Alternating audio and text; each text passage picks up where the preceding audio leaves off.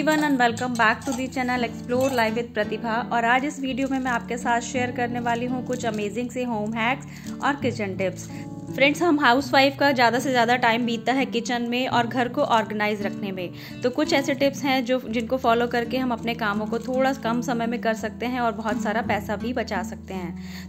और जब हम किचन में अलग अलग टाइप के स्नैक्स रेडी करते हैं, जैसे मैगी हो गया या फिर सूप हो गया, इस तरह के पाउचेस बहुत सारे हमें हमारे किचन में आते हैं ग्रॉसरी के साथ तो हम उन्हें इस तरह से ही किचन में रख देते हैं। तो काफ़ी सारे पाउचेज ऐसे होते हैं जो आधे ही यूज़ होते हैं आधे अनयूज ही रखे रहते हैं। तो हम उनको ऐसे ही किचन में रख देते हैं। जैसे यहाँ पे मैगी मसाला बचा हुआ था तो वो भी बच्चों ने आधा यूज़ किया आधा रख दिया। आ, मैंने इनो लिया था एक दिन तो आधा ही मैंने यूज़ किया था तो वो ऐसे ही रख दिया। तो ये सब चीज़ें आधी अधूरी यूज़ होती हैं आधी पड़ी रहती हैं और वो हम उन्हें काउंटर शेल्फ पर या कहीं भी इस तरह से रख देते हैं जिससे बहुत सारा स्पेस हमारा कवर हो जाता है और वो बिख और कई बार तो ये ओपन रखे रहते हैं और हमारे हाथ से गिर जाते हैं और पूरा काउंटर शेल्फ हमारा गंदा हो जाता है और हमारा काम बढ़ जाता है। तो यहाँ पे मैंने जो भी आधे अधूरे पाउचेस बचे बचे हुए थे, उनको स्टेपल कर दिया है। आप इसे रबड़ से भी बाँध के रख सकते हैं और इनको रखने के लिए मैं यहाँ पे यूज़ कर रही हूँ। ये स्ट्रॉबेरी का बॉक्स जिसको हम जनरली यूँ ही फेंक देते हैं स्ट्रॉबेरी खाने के बाद। तो बस इसके अंदर सारे पाउचेज आपने देखा दस बारह पाउचेज होंगे ये छोटे छोटे और बड़े। तो सारे के सारे इसके अंदर रख दिए हैं और ये एक जगह पर रहेंगे और विजिबल भी रहेंगे। तो जब भी हमें यूज़ करना होगा तो हम इन्हें यूज़ कर सकते हैं। ये जो मैगी मसाला वगैरह आता है, आप इन्हें सब्जियों में यूज़ कर सकते हैं। अगर ये ऐसे ही इधर उधर रख दिए जाएँ तो ये नज़रों से दूर हो जाते हैं और फिर ये एक्सपायर ही हो जाते हैं। इससे अच्छा है कि इस तरह के बॉक्स में रखिए, सामने रहेंगे तो यूज़ भी हो सकेंगे। इनो और इनो के जो पाउचेज हैं, आप उन्हें कंज्यूम करने की जगह क्लीनिंग में इस्तेमाल कर सकते हैं। और फ्रेंड्स हम अपने फ्रिज की या फिर किचन की डीप क्लीनिंग मंथली या फिर वीकली करते हैं और पूरे जोश के साथ करते हैं और बिल्कुल चमका देते हैं उस चीज़ को। और देखिए, मैंने भी यहाँ पे फ्रिज साफ़ किया था, बिल्कुल चमचमा उठा है, बिल्कुल नया सा लगता है जब इस तरह से डीप क्लीनिंग की जाती है फ्रिज की। इसका वीडियो मैंने चैनल पर डाला हुआ है, बहुत सारे टिप्स एंड हैक्स शेयर किए हैं उसमें, आप देख लीजिएगा डिस्क्रिप्शन बॉक्स में लिंक है। तो देखिए, यहाँ पे फ्रिज तो साफ़ कर लिया हमने या फिर किचन भी साफ़ कर लेते हैं, लेकिन कुछ गलतियाँ हम ऐसी कर लेते हैं कि हमारी जो सफ़ाई होती है वो बिल्कुल बेकार हो जाती है, बहुत जल्दी ही। और फ्रिज ऐसी जगह है जिसमें बहुत सारा फ़ूड आइटम्स रखा जाता है तो इस तरह से जो ये पाउचेज होते हैं सॉस वगैरह के तो इस तरह के ग्लास में रख देती हूँ, इससे काफ़ी सारा स्पेस बच जाता है। और फ्रिज में हम कितने सारे फ़ूड आइटम्स रखते हैं तो उससे भी वो स्पिलेज वगैरह होती है, दूध रखते हैं, दही रखते हैं, या फिर कुछ भी चीज़ें रखते हैं तो उसके गिरने से जो फ्रिज के ग्लास हैं, वो गंदे हो जाते हैं। तो उसको प्रोटेक्ट करने के लिए मैं यहाँ पर यूज़ कर रही हूँ फाइल्स का, इस तरह की फाइल्स आपके बच्चों के पास होती ही होगी। तो उनको यूज़ करिए एज अ फ्रिज मैट और फ्रिज जो फ्रिज मैट जो होते हैं, वो काफ़ी कॉस्टली आते हैं। तो इस तरह की आप, जो घर में चीज़ें पड़ी हैं, उनको री करके आप काफ़ी सारे पैसे बचा सकते हैं।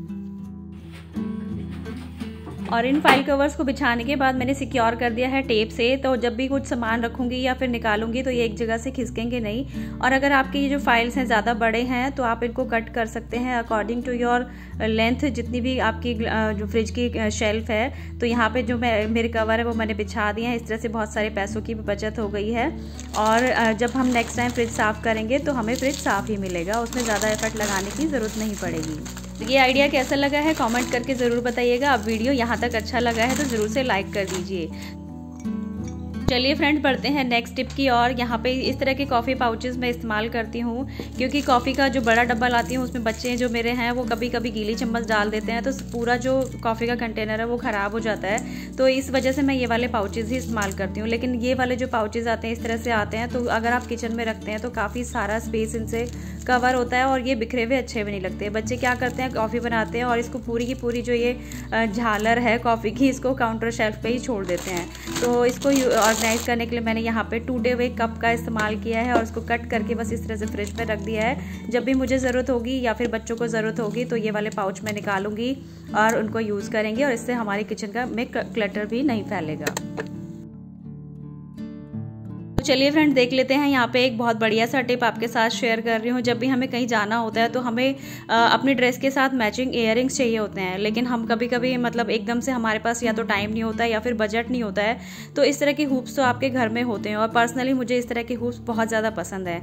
लेकिन इनका गोल्डन कलर होता है या फिर ब्लैक कलर होता है या फिर सिल्वर होता है तो आप उसको हर ड्रेस के साथ नहीं पहन सकते, ना ही अच्छे लगते हैं। तो आप इसे यूज़ कर सकते हैं। इस तरीके से आपके पास नेल पेंट तो होगी, आपकी ड्रेस से मैचिंग उसके ऊपर नेल पेंट लगा लगा लीजिए और अपने ड्रेस से मैचिंग आप हुप्स तैयार कर सकते हैं। और जब आपको नेक्स्ट टाइम इसको चेंज करना हो तो नेल पेंट रिमूवर यूज़ करके उसे हटा लीजिए और फिर दूसरा नेल पेंट आप उसके ऊपर लगा सकते हैं।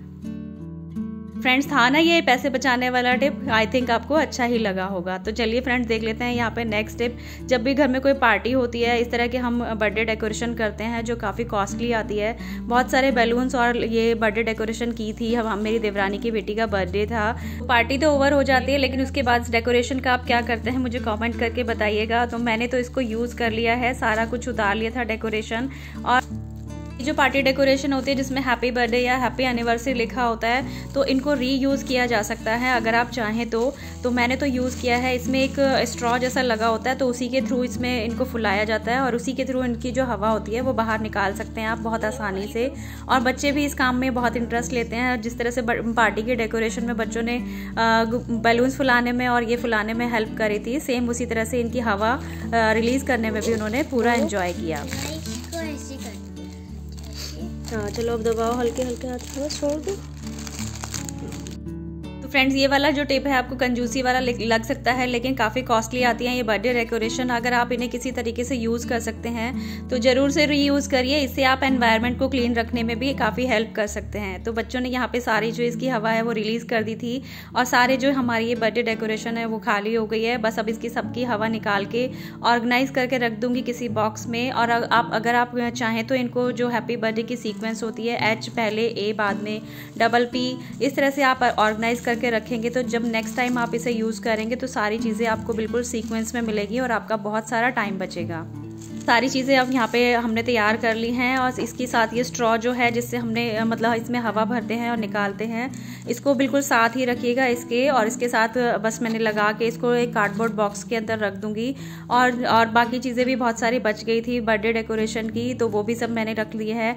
जैसे यहाँ पे बहुत सारे बैलून के पैकेट बच गए थे, कुछ यूज़ किए थे, कुछ बच गए थे तो वो भी इसके अंदर रख दिया है टेप रख दिया है, साथ में जो कैंडल्स हैं वो भी बच गई थी तो जब नेक्स्ट टाइम मैंने यूज़ करूँगी तो सारी चीज़ें एक जगह पर रहेंगी तो काफ़ी सारा टाइम बच जाएगा इधर उधर ढूँढने में।